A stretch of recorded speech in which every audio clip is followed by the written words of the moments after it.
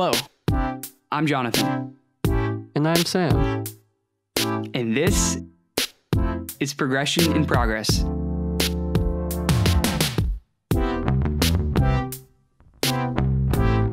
All right, everybody, welcome back to another episode of Progression in Progress. How we doing today, Sam? We're doing fantastic. How about you?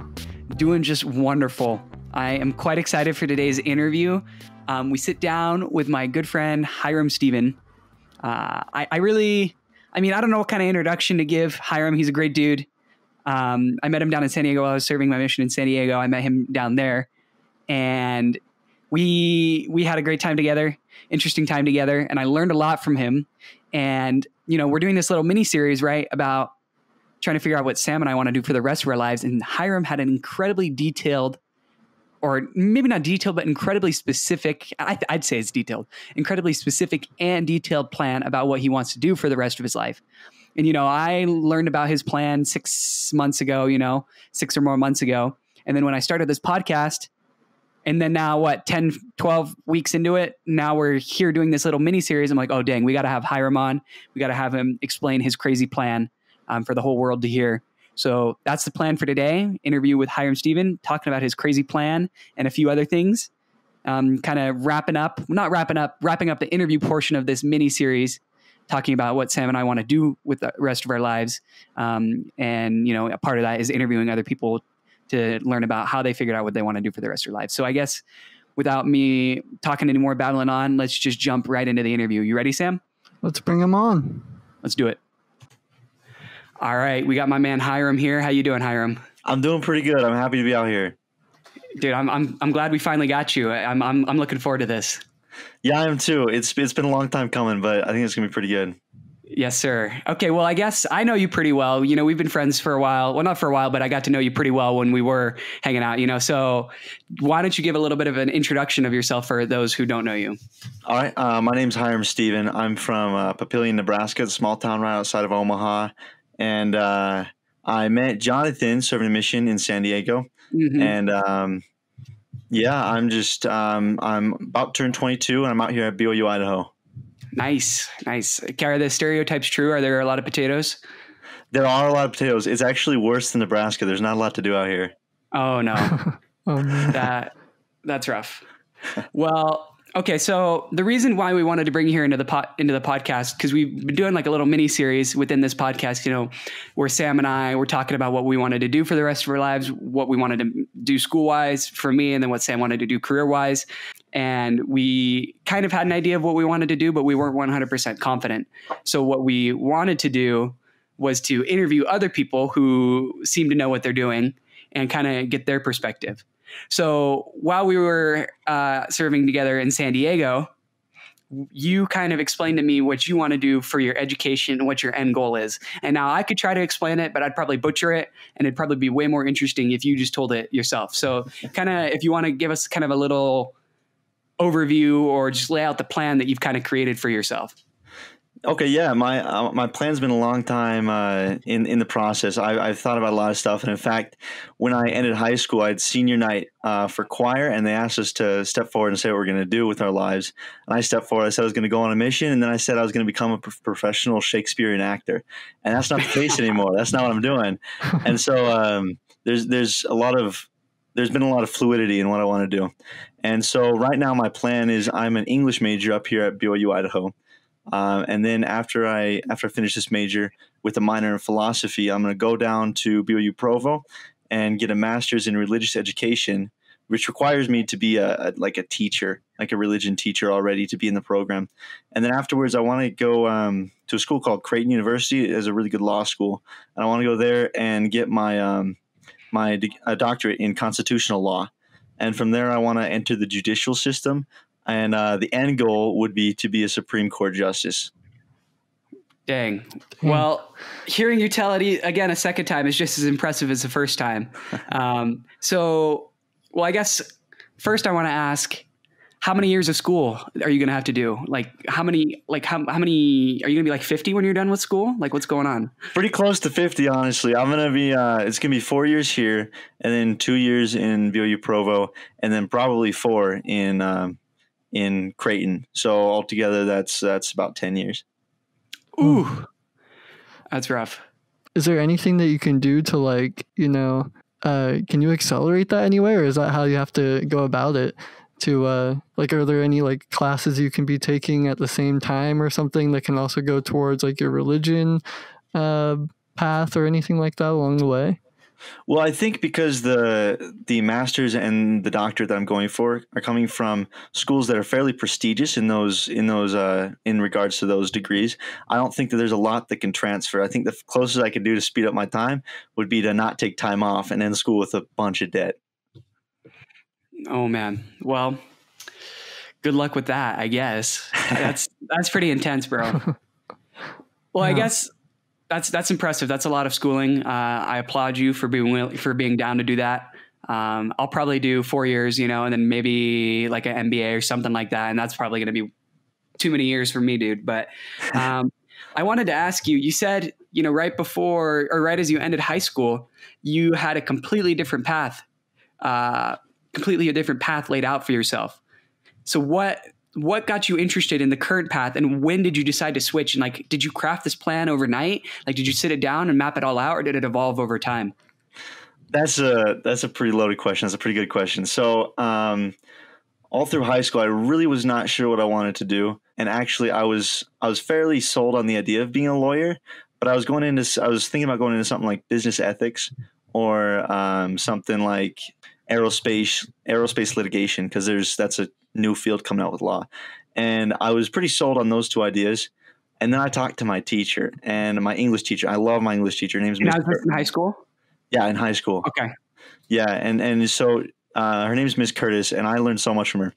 And um, I I read Hamlet with her, right? And Hamlet's my favorite piece of writing ever, and I think it's the most influential piece of writing to Western culture besides the Bible. It's it's up there. It's it's really cool. And when I read it, it just it just pricked me, and I, I was just like, I want to do this for the rest of my life, and I think I could because I was a theater kid. I uh, I did a lot of plays and stuff like that, and I loved it. And so I was like, this is something I love and I don't know if I'm to end up doing this, but this is what I want to tell everyone that I want to do. And so I told everyone, but in my heart, I was still kind of like I wasn't sure. And then um, I went on a mission, and out there, I, I kind of served all over the place. I served some people who lived in the lowest conditions that I've ever seen in my life. Pretty, pretty terrible their conditions.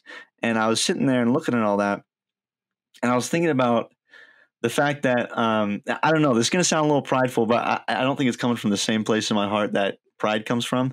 I want people to know who I am because I did good in the world. I want people to know my name for good. And I was thinking about ways that I could do that. And uh, I just didn't think that being a Shakespearean actor would, would be that. And so I was considering other ways that I could affect the world in a beneficial manner.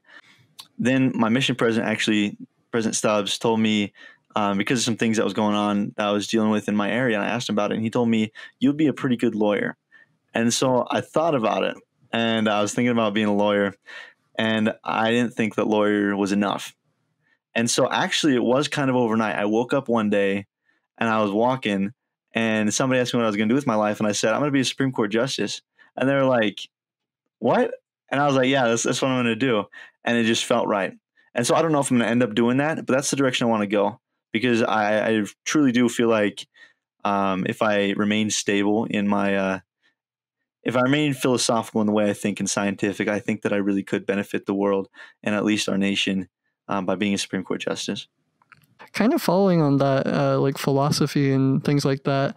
I know to be a, or I imagine to be a justice, you have to have a pretty good like moral compass and good set of morals, as long uh, as well as knowing the actual law and uh, how to apply that.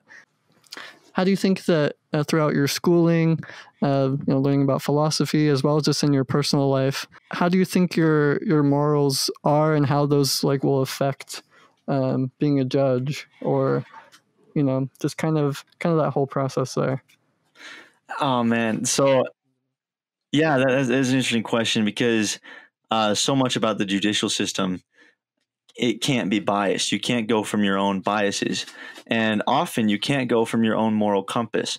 As a Supreme Court justice, your job is to interpret the Constitution, and that's it.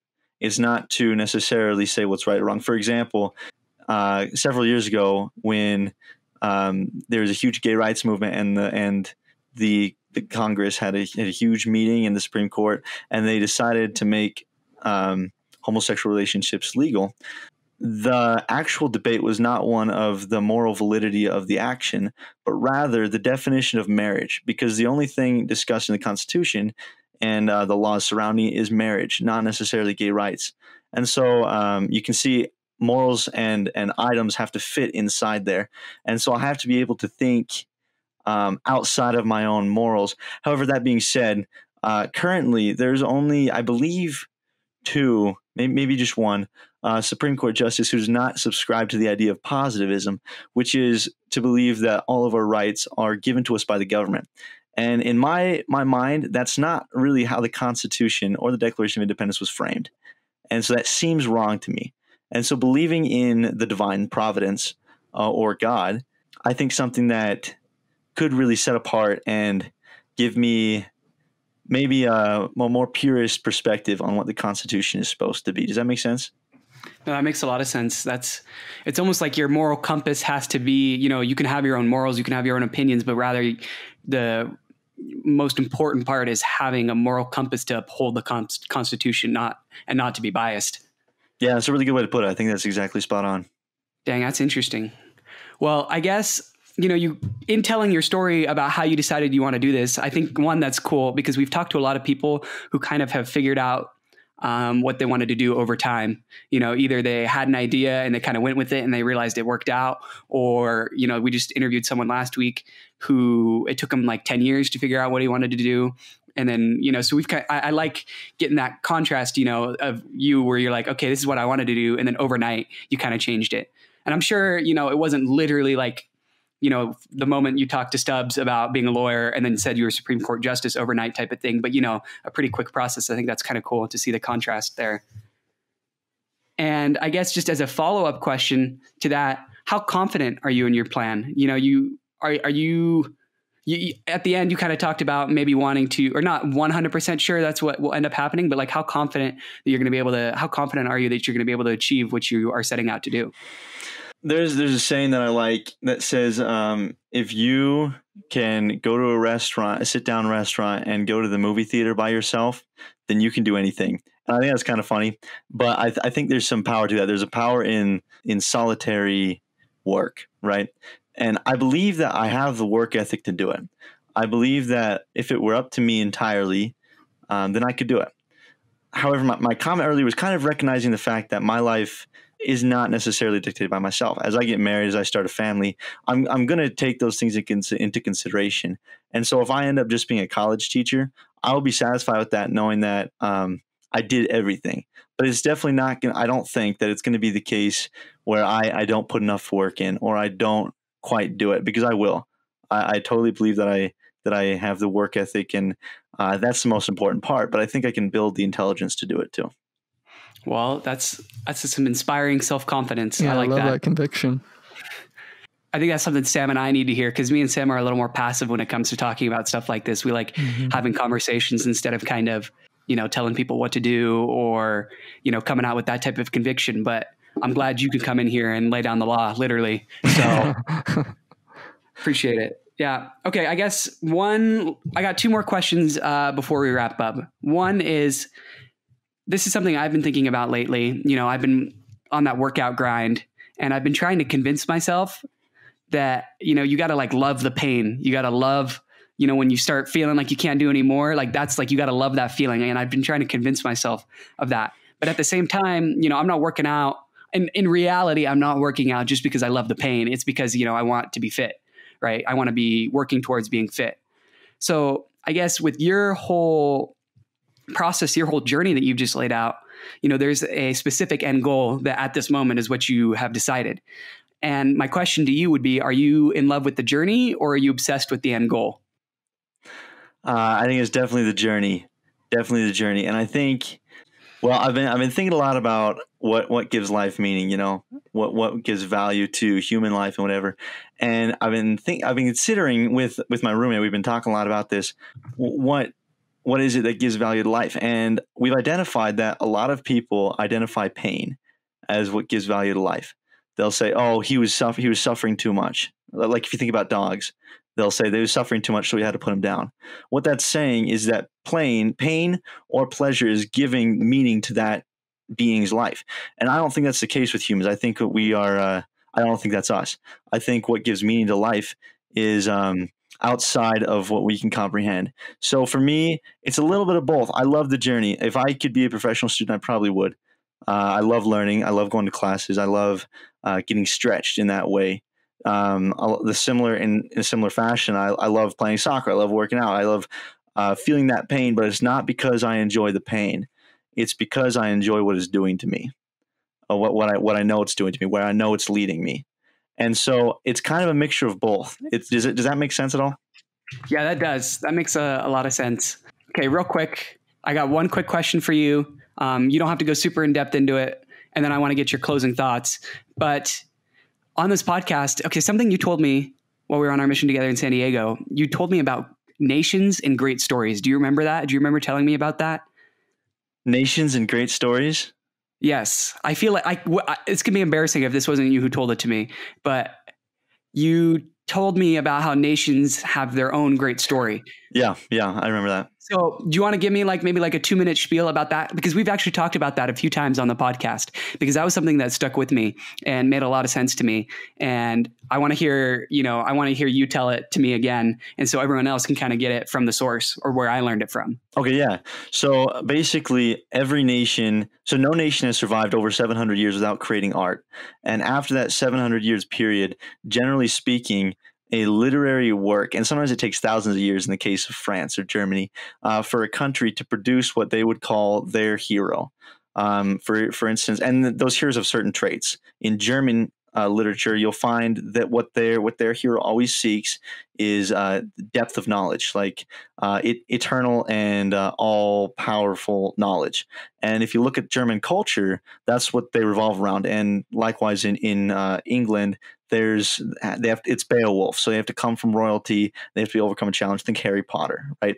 But for us, it's Huckleberry Finn. It's the underdog story. That's why we love a good underdog story. It's someone who came from nothing and came back not only with riches but a way to benefit society in a whole.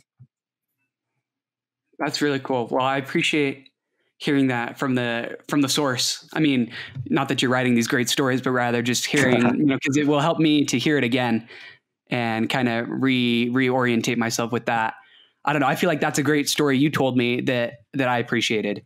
So awesome. Well, I think you've dropped some knowledge on us. I really appreciated you coming here into the podcast. So we always before we end things, we love to ask people if they have any closing thoughts or advice that they want to give. Yeah, I, I do have some advice. Um, it's actually a quote by Albus Dumbledore that I, I really, really okay. like. Um, so he said, It matters not what someone is born, but what they grow to be. I think a lot of times we allow our surroundings to dictate who we are or situations dictate who we are, but that's not necessarily the case. I believe in God, and that means I believe that uh, my roots aren't from this this earth, and I have potential to go beyond this earth. And because of that, it gives me strength to realize that um, there's so much to life that I miss out on if I let myself be dictated and defined by what happens to me instead of what I do. And uh, I think if I could let anyone hear that, right, like if there's something that I could let everyone hear right now, that'd be it. I think too much of the world is surrounded in hate, and hate is reciprocal because what, what people perceive happening to them, and that's who they are, is how they perceive it. And that's not the case. Um, you're so much more than that you get to choose. You get to choose and you get to overcome. And that's that's the beauty of life. Dude, that's we talk about that so much here on the show on progression and progress you know take control of what you can and you know you're dealt a deck of cards you know your life is a deck of cards and you you can't dictate what kind of cards you have so what you have to do is make the most of them so that's that's cool. That that's your that's your closing closing advice, your closing statement. I think that's I mean that's something my dad's taught me. That's probably the one of the most important thing my dad's taught me. Uh, I mean maybe not the most important things, but one of the most important things that he's taught me. You know, and I, I've seen it work in my life. You know, I've I've faced physical challenges in my life. Um, probably the best thing my parents have done for me is they have encouraged me to not let that control me. They've encouraged me to they well they didn't even have to encourage me to do it because they just treated they didn't they treated me in a way that it didn't define me if that makes sense. And I I've seen that work so much in my own life. And I lately have been thinking about that. And especially as we've been talking about it on the podcast, I've been thinking about it. And I can see the areas of my life where I've decided to take control. You know, they're significantly better than the areas of my life where I feel like I'm being influenced by things that I can't control. That's a really cool way to think of it. I I, I love that concept a whole lot about ownership and uh, accountability partnered with uh, the ability to choose. I love that. Yeah. What was that quote one more time from Dumbledore? Uh, it matters not what someone is born, but what they grow to be. Dude, perfect. That's literally progression of progress. That quote captures what we try to express here on that show. I love it. Well, Hyrum, thank you so much for coming on the show. We really appreciate it. Um, we're probably going to have to have you back another time because I feel like we didn't have enough time to to hear all that you have to say. So thank you so much. Yeah, I really loved it. Thanks for thanks for having me. Well, I guess just to wrap things up. Well, first, we really appreciate Hyrum coming to the podcast. Uh, thank you so much, Hyrum. Thank no, you. We really, yeah, we appreciate it. But just to wrap things up, Sam and I are back to the post interview conversation. I think we missed it last week because of scheduling not lining up, but we're back on it, back on that grind. So, just real quick, Sam and I wanted to talk about our takeaways from that episode. And I wanted to start things off, start the discussion off with highlighting or pointing out the contrast between Hyrum's story and the story of other people or the story and experiences of other people we've interviewed. So, for example, when we talked about my cousin Ethan, or talked with my cousin Ethan, he talked about um, how he decided on a computer science major, and it was kind of a gradual, gradual process of being interested in something when we were kids, or not kids, when we were teenagers, um, interested in something. And then that became his hobby. And then he took a class in high school, and then he took a class in college, and then decided, you know, um, that was going to be his major. And it was based off of a bunch of little small, simple things combined to, you know, become a, something major, I guess, emphasis on major because college. But, but, and then we also talked to Adam, where his was a little combination of both, where it was a lot of small things over time that led to kind of a, moment uh, small things over time that led to a moment of him being like, oh, shoot, this is what I need to do. This is what I want to do. This is something I think I could do. So it was kind of a combination for Adam, you know, because he, he, it took him 10 years to figure it out. But then when he did figure it out, when he did figure it out, he figured it out, you know? Yeah. And then with Hyrum, it's almost like the complete opposite.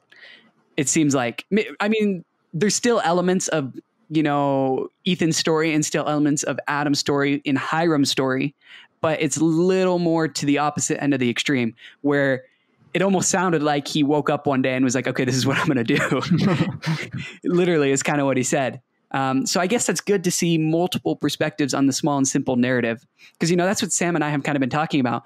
Small and simple things lead to you figuring out what you want to do. It's kind of been a takeaway for me, but listening to Hyrum's story I think, and I still I still do believe that probably for most people, the small and simple things are going to what's going to is what that is what's going to constitute or make up or lead to their decision to choose what they want to do for the rest of their life. But I still think it's good to hear the opposite point of view, the complete opposite point of view, because I, I mean, it, it, happened to Hyrum, so I'm guess I'm, I'm sure it's going to happen to other people. So I guess it's good to just see the other point of view, the other perspective. So, what do you think about him, Sam, just waking up one night and not waking up one night, but waking up one morning and just being like, okay, boom, just told someone I'm going to be a Supreme Court justice, and now that's his plan.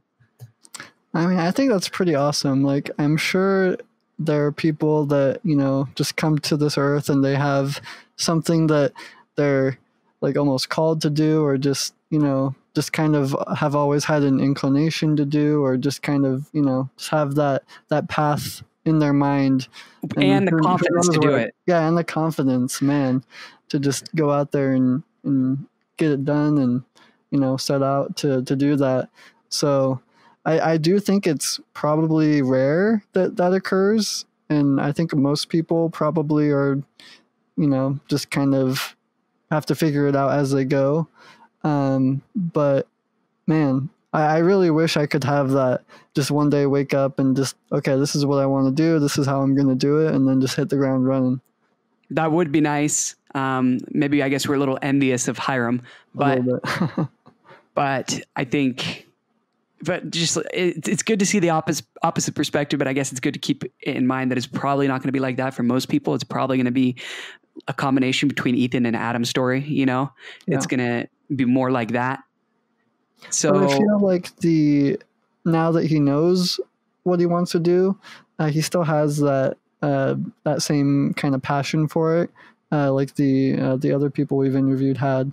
So I still think once you do find out uh, what that is you're going to do, uh, then you'll probably kind of feel or act the kind of the same way. Like I felt the same vibe kind of from all of them in that regard. yeah, so once you get there, you know, I you guess know. it matters not. It matters not how you get there, but you know, just the, you eventually get there. Exactly.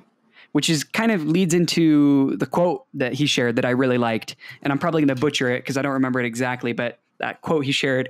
And I don't want to really go too in depth in this because I feel like we've talked about this topic a million times, but I think it's just, uh, I really liked it.